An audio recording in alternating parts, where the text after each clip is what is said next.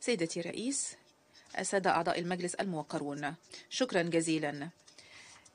مع اقتراب موعد تجديد ولاية اليونامي أود أن أنتهز هذه الفرصة لكي ننعم النظر قليلا وكذلك لكي نتطلع قدما. في الأشهر القليلة الماضية حلل عدد كبير من الأشخاص ومن الكيانات الأحداث التي هزت العراق منذ عشرين عام وكذلك تطورات منذ ذاك ثلة قليلة فقط ونفر قليل هو من ينكر أن الطريق لم يكن وعرا فالطريق قد شهد الكثير من أوجه الهشاشة القائمة بالفعل وتلك الموروثة من عقود سابقة هذا بالإضافة إلى أنه أماط اللثام عن مواطن ضعف أخرى.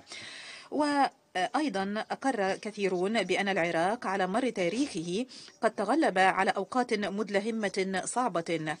و كذلك وعلى الرغم من ذلك فما زالت معاول الهدم قائمة وما زالت الجذور التي سببت زعزعة الاستقرار قائمة ألا وهي الفساد والحكم الضعيف وكذلك وجود الأطراف المسلحة من غير الدول والإفلات من العقاب والسياسة الطائفية وضعف توصيل الخدمات والتفاوت والبطالة.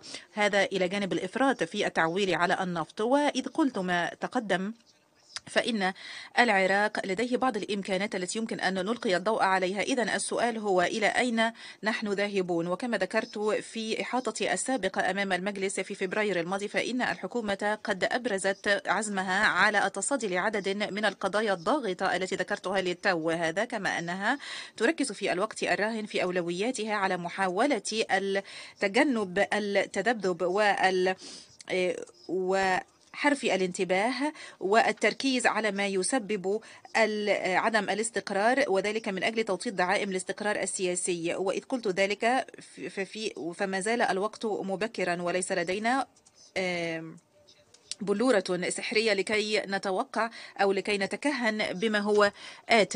وكما أؤكد دائما فكل ما نعرفه هو أن أي حكومة في هذا الوضع تحتاج إلى وقت. وكما قلت آنفا أيضا فإن التحديات ما زالت قائمة ففي خضم انخفاض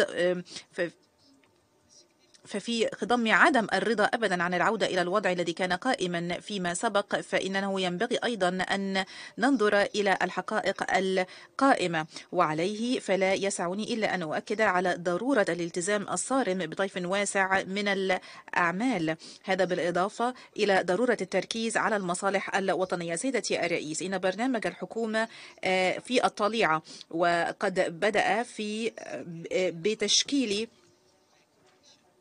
بتشكيل تحالف بين الأحزاب هذا بالإضافة إلى تحالف إدارة الدولة. ولكي نجسر الاختلافات وكذلك نتابع التنفيذ أو تنفيذ الأولويات فتقام اجتماعات منتظمة بين الحكومة وبين أعضاء الائتلاف.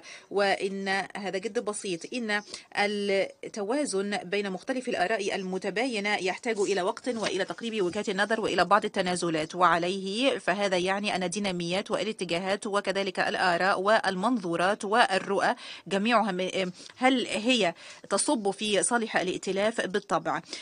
فهي جد مهمة بل وإن أهميتها لا يمكن أن نؤكد عليها أكثر من ذلك. بكلمات أخرى أو بعبارة أخرى فإن التواصل والتداخل الصحيح فيما بين الائتلاف وبين المعارضة ينبغي أن يسمح له بالعمل. هذا بالإضافة إلى ضرورة الحفاظ على التوازن الدقيق من أجل النجاح في التصدي للأولويات الرئيسة وإنه من المهم بمكان أن نراعي الطيف الأوسع من القوانين والإجراءات والمقترحات التي بدأها البرلمان والحكومة أو أي مكان آخر. هل هذا سوف يؤدي إلى التوطيد الدعائم أم سيؤدي إلى النزاع؟ هل هذا سيقرب وجهات النظر أم سيفاقم من الهوة الواسعة بالفعل؟ هل هو سيوحد أم سيفرق؟ بعبارة أخرى لكي نكسر هذه الحلقات المضطردة من الأزمات المتعاقبة ما هي الأولويات التي ينبغي أن نركز عليها؟ ما هي الأساسيات؟ سيدتي الرئيس إن الموارد التي نحتاج إن الموارد اللازمة لتحويل بعض أهداف الحكومة إلى واقع ملموس مثل توصيل الخدمات العامة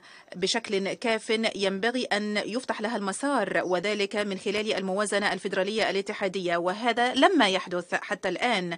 و ولكن فإن أعين مجلس ممثلي العراق أو المجلس التمثيلي مسلطة على ذلك. ومن نافلة القول إن الاتفاق على ميزانية ناجعة في أقرب الأجال يعد محوريا بما في ذلك ضرورة اتخاذ كل الخطوات اللازمة من أجل تنظيم الانتخابات المجالس المجالس المحافظات التي طال انتظارها في ديسمبر من هذا العام. في الوقت نفسه فإن العراق لا ينفك يعتمد ويعول على النفط. كذلك فإن القطاع العام يبقى أكبر موظف في العالم. في البلاد عفوا.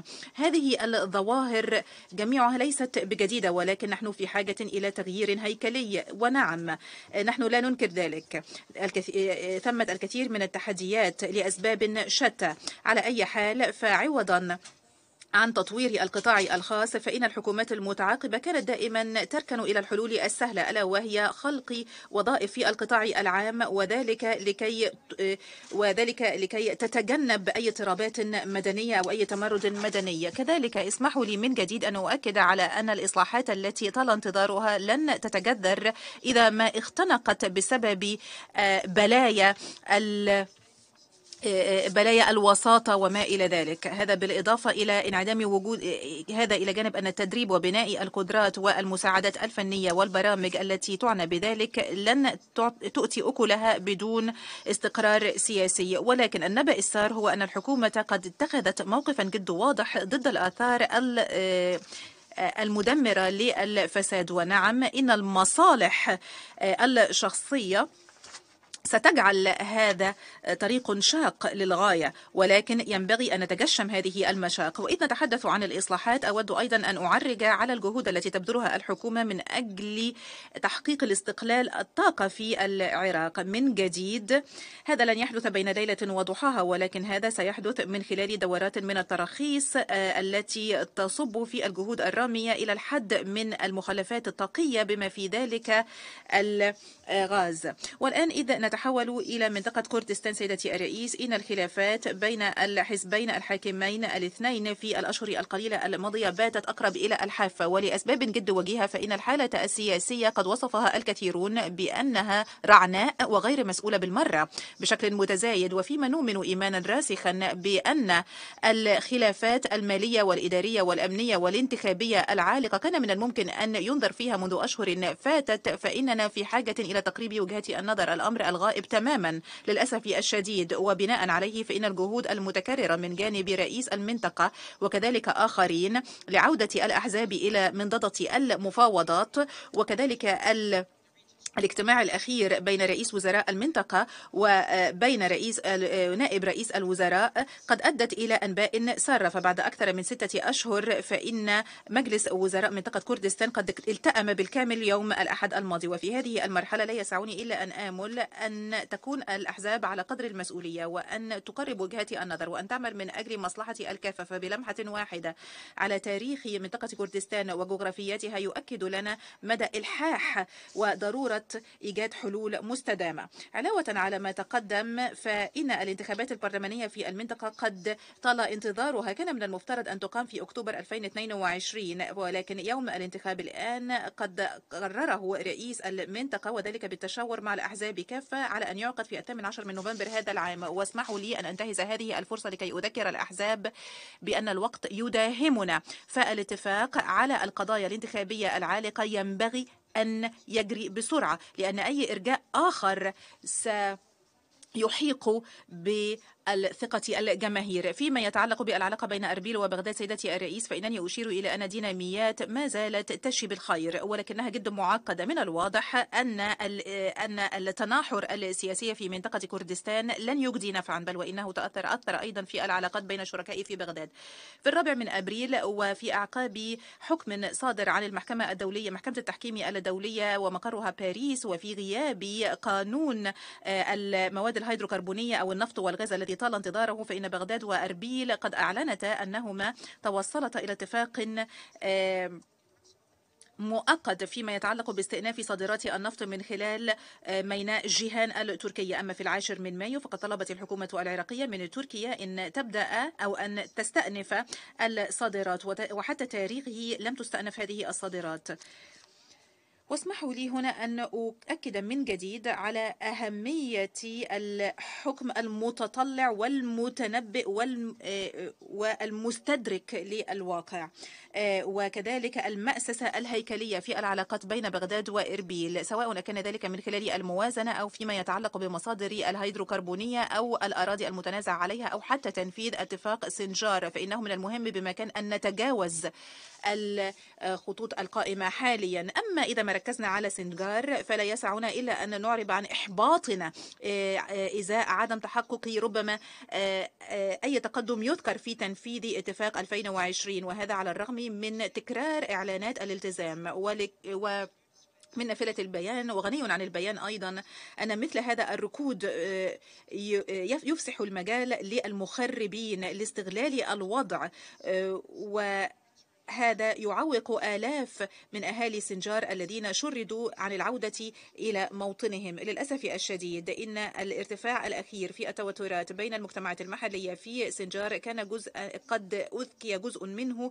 بسبب الأضاليل التي تستهدف الأزيديين. هذا كما أن القادة المحليين من مختلف الجوانب ومن مختلف الأطراف يعملون على تبديد هذه التوترات. التوترات ولكن التحديات ما زالت قائمة وهي معنية بالهياكل الأمنية وإعادة البناء. والآن بتضمين اتفاق سنجار ل 2020 والذي يشكل أولوية بالنسبة لبرنامج الحكومة فقد آن الأوان لتنفيذ هذا الاتفاق. سيدتي الرئيس إن التزام العراق الذي يستحق الثناء بالعودة إلى بإعادة الرعاية من شمال شرقي سوريا ما زال يشكل مثالا يحتذى فيما الجولات الجديدة أو الدورات الجديدة للعائدين من المتوقع أن تجري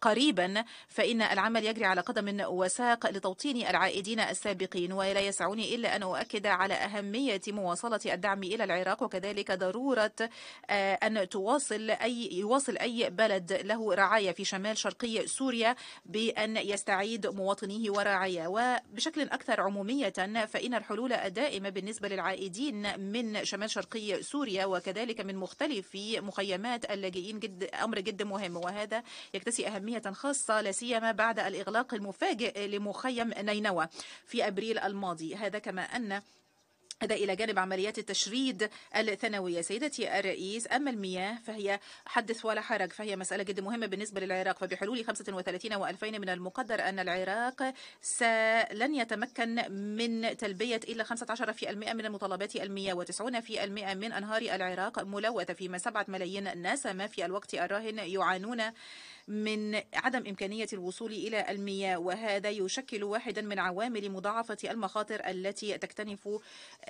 استقرار العراق. إن أولوية الأمن المائي الذي تشكله الذي تؤكد عليه الحكومة العراقية هي مسألة جد مهمة. هذا بالإضافة إلى الخطط التي وضعت من أجل تحديث النظم إدارة المائية في العراق والتي تجري على قدم وساق. وهذه مسألة جد مهمة من أجل تلبية احتياجات السكان والتحضر. أما بالنسبة للتقاسم المنصف للموارد بين العراق وجيرانه هي مسألة جد مهمة ولكن إذا ما كانت المياه محطا للتنافس فالجميع سيخسر. ولذا فنحن في حاجة إلى إجراءات محلية جريئة وتعاون إقليمي وثيق. وفي هذا الصدد أود أن أسترعي انتباهكم إلى حقيقة جد بسيطة ألا وهي أن الأمن الإقليمي وكذلك التطورات الاقتصادية والسياسية ستؤثر في العراق ولن تنفك تؤثر في العراق ولذلك لا يمكنني إلا أن أقول وأؤكد على أهمية جهود الحكومة من أجل مضاعفة الجهود الدبلوماسية مع جيرانها في عدد من المجالات بدءا من أمن الحدود والتجارة وتقاسم المياه وكذلك المسائل المناخية. وبالطبع فإن الاستقرار الإقليمي يستند وهو مشروط باحترام مبادئ السيادة وسلامة الأراضي وحسن الجوار. سيدتي الرئيس اسمحي لي الآن أن ألتفت إلى مسألة المفقودين الكويتيين ورعاية الدول الثالثة المفقودين والممتلكات الكويتية المفقودة المفقودة. السلطات العراقية بمساعدة من الصليب الأحمر ومن اللجنة الثلاثية لا تنفك تبذل الجهد من أجل تعيين أماكن الشهود وكذلك أماكن دفن بعض الرعاية الكويتيين ورعاية الدول الثالثة. ومن نافذة القول أننا نرحب بقرار دولة رئيس الوزراء بإنشاء لجنة مؤلفة من أعضاء الوكالات الأمنية المعنية.